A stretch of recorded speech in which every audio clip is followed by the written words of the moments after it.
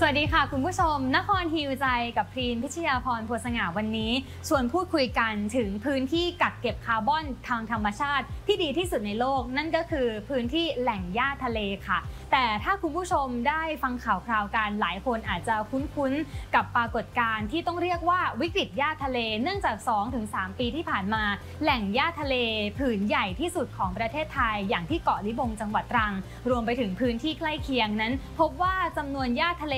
น้อยลงทุกที จนวันนี้กลายเป็นว่าเกิดปัญหากับพยูนค่ะ ที่ทำให้พวกมันหาแหล่งอาหารได้ยาก ก็ต้องอพยพออกจากพื้นที่ แล้วก็ตายไปหลายตัวทีเดียว แต่ดูเหมือนว่าจะมีสัญญาณที่ดีแล้วนะคะสำหรับตอนนี้ที่นักวิทยาศาสตร์ทางทะเล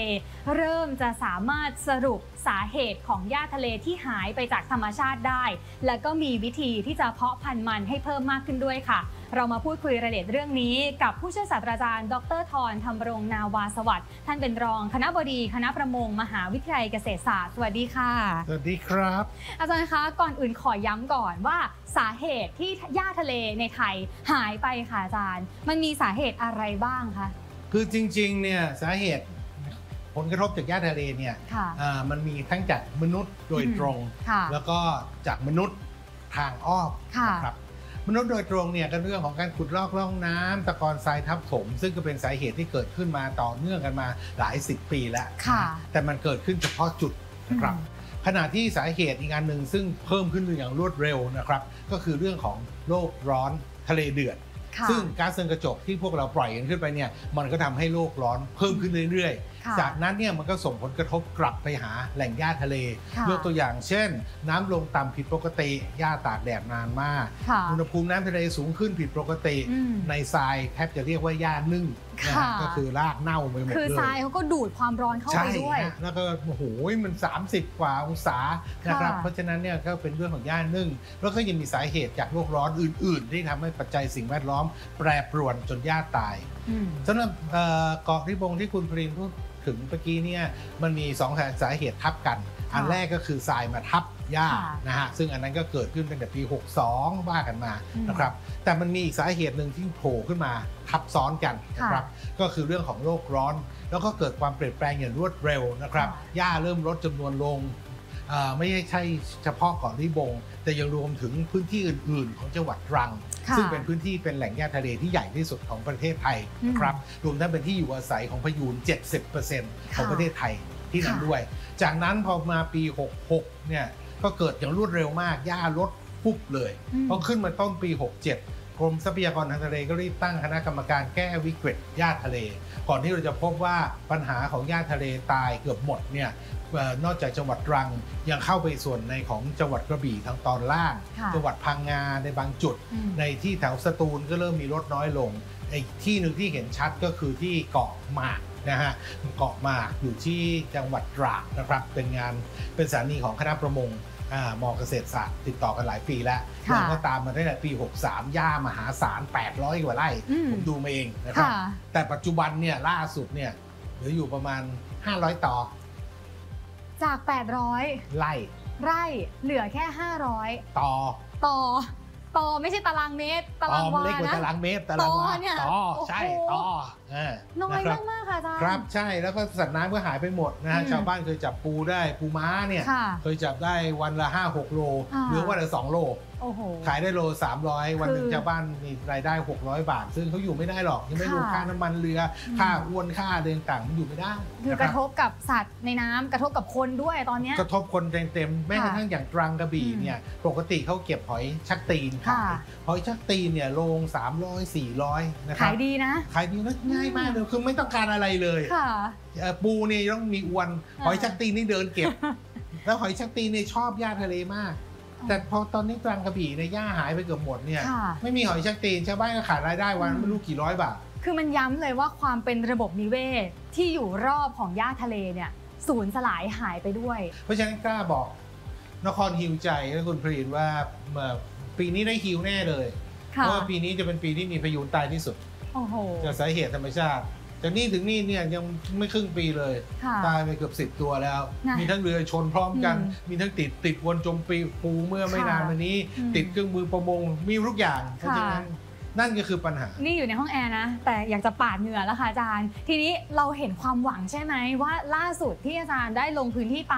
แล้วก็มีการเพาะพันธุ์หญ้าทะเลให้ขยายตัวมากขึ้นนะคะทำสำเร็จ คือจริงๆเนี่ยนักวิทยาศาสตร์ทางทะเลอย่างผมอืมอย่างพวกเราเนี่ยเรารู้อยู่แล้วรู้ล่วงหน้ามา4ีหปี แล้วว่าหญ้าทะเลเนี่ยเอ่อจะต้องลดน้อยลงแล้วเป็นระบบนิเวศที่จะโดนผลกระทบจากโลกร้อนค่ะปัญหาคือเราไม่มีตังค์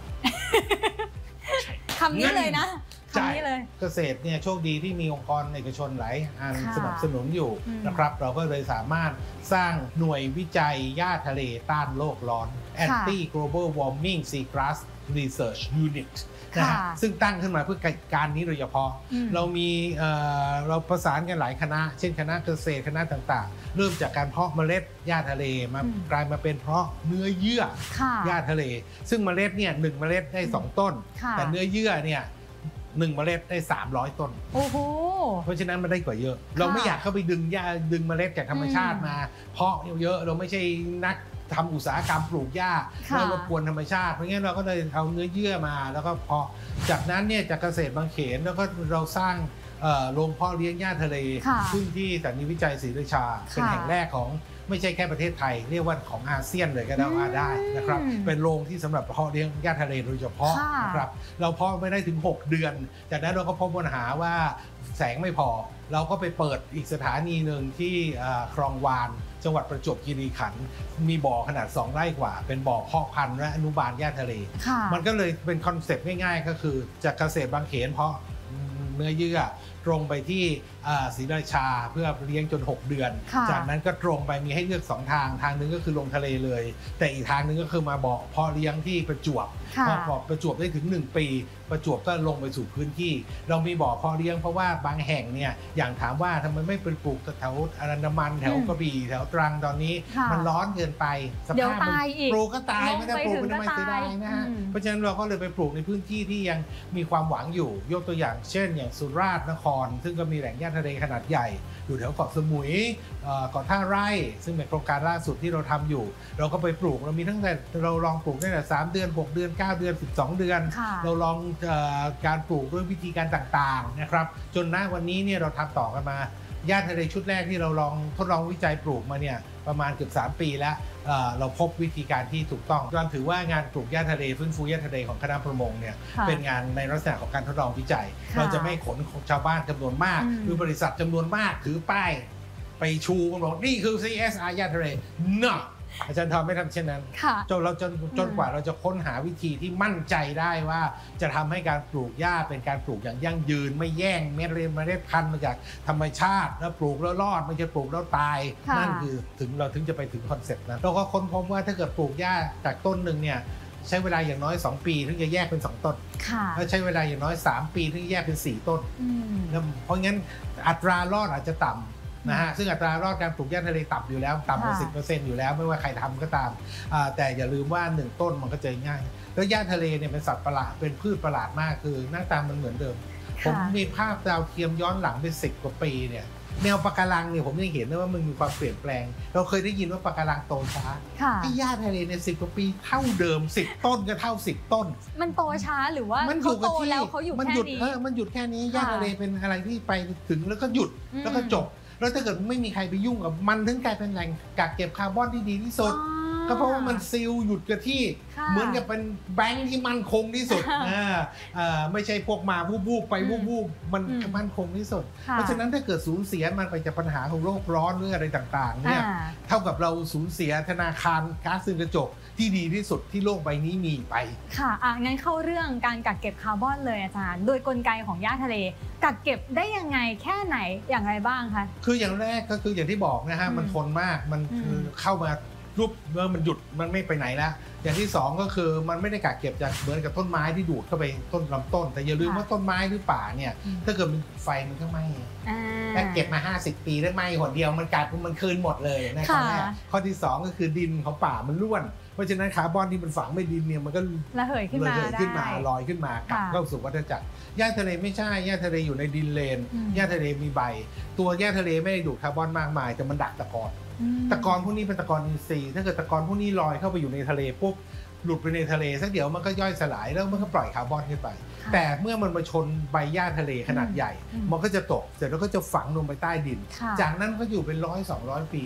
อยู่ในนั้นเลยเพราะว่ามันจมไปใต้เลนพอใต้เลนเสร็จแล้วก็มันก็จะมี seal หญ้าทะเลก็จะระบบรากก็เหมือนกับปิดค่ะเหมือนกับเอาเข้าไปในตู้นิรภัยยักษ์แล้วก็ปิดฝาค่ะอ่าเพราะฉะนั้นหญ้าทะเลก็คือดัก ปล่อยอืมอัดส่งลงล่างเขาถึงว่าเรียกว่าเจ๋งที่สุดแล้วไม่มีอันไหนเจ๋งเท่านี้เพราะหญ้าทะเลไม่มีวันไฟไหม้ค่ะ ซึ่งถ้าเปรียบเทียบกันกับป่าบกหญ้าทะเลสามารถกักเก็บคาร์บอนได้มากกว่า 10 เท่า มากกว่าครับเอ่อค่ะนี่เป็นงานศึกษากันทั่วโลกนะครับอืจมริงๆมากกว่านั้นด้วยซ้ำก็ถ้าเกิดเอาข้อมูลของสมิธโซเนียนหรืออะไร เพียงแต่ว่าเอาไงๆก็ตามตะกอนมันลงมาเรื่อยๆทุกวันค่ะมันก็ดักแล้วลงตลอด ดักแล้วลงตลอดก็กลางคืนเนี่ยอืม พืชไม่สังเคราะห์แสงแต่ตะกอนก็ลงมาเพราะงั้นหญ้าทะเลเนี่ยสุดยอดเทพงั้นงั้นทั้งโลกเขาไม่มานั่งสนใจหญ้าทะเลหรือปลูกหญ้าทะเลกันหรอก เพราะว่ามันเป็นความหวังของการกักเก็บคาร์บอนแล้วขอให้มันเก็บได้สักอืมร้อยสองร้อยปีก็พอแล้วค่ะเพราะอีกร้อยสองร้อยปีข้างหน้า เราก็จะมีนวัตกรรมทำเอ่อเครื่องเก็บคาร์บอนหรืออะไร แต่มันไม่ใช่วันเร็นี้วๆนี้ไม่ใช่ 20 ปี 30 ปีข้างหน้า เราก็มาคุยกันถึง 40 50 หรือร้อยปีข้างหน้าค่ะเพราะฉะนั้นขอแค่ร้อยปี โลกก็รอดแล้วอ่าปัญหาก็คือว่าโลกร้อนกลับมาถล่มสิ่งเหมือนกับเราสู้กับสัตว์ประหลาดอะค่ะนั่นนี่คืออาวุธที่ดีที่สุดของเราอืมแต่สัตว์ประหลาดดันโจมตีอาวุธที่ดีที่สุดขดัอนงเรารู้ว่าเราจะใช้อาวุธอะไรใช่แล้วมันโจมตีทำให้หญ้าทะเลหายไปหมดคราวนี้ไอ้คาร์บอนที่เก็บไว้เดิมทีก็ไปหมดอะอย่างพื้นที่ที่หญ้าทะเลตายอาจารย์อืมแปลว่าคาร์บอนที่เก็บอยู่ข้างล่างออกมาด้วยไหมคะ มันก็เปลี่ยนสภาพกันเป็นทรายเขาเดี๋ยวมันก็อ๋อค่อยๆซึมมาเหยออกมาเรื่อยๆสักวันมันก็หมด แปลว่าพื้นที่อนุรักษ์หญ้าทะเล ก็จำเป็นที่จะต้องอนุรักษ์เอาไว้ด้วย เพื่อที่จะได้เก็บเอาไว้ คือต้องเข้าใจว่าเรากำลังอืมต่อสู้กับคน 7,000 ล้านคน ค่ะ ซึ่งปล่อยก๊าซเรือนกระจก จำนวนมาก แล้วเราไม่สามารถจัดการสาเหตุได้เลย อาจารย์ในช่วงหนึ่งป่าชายเลนเนี่ยฮิตในการปลูกมาก บางพื้นที่ยังยังปลูกกันเยอะอยู่เลยในเรื่องของการรณรงป่าค์ชายเลนก็เป็นส่วนที่ดีนะครับ ค่ะแต่ถ้าเกิดเอาซิลเนี่ยหญ้าทะเลซิลได้มากกว่า หญ้าทะเลดีกว่าป่าชายเลน ถ้าเกิดถามว่ามีอาวุธสองงานให้เลือกให้เลือกหญ้าทะเล แต่ค่ะปัญหาก็คือป่าชายเลนเนี่ยสามารถต้านทานต่อผล